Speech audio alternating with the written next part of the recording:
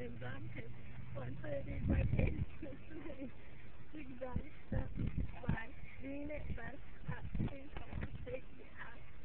I'm.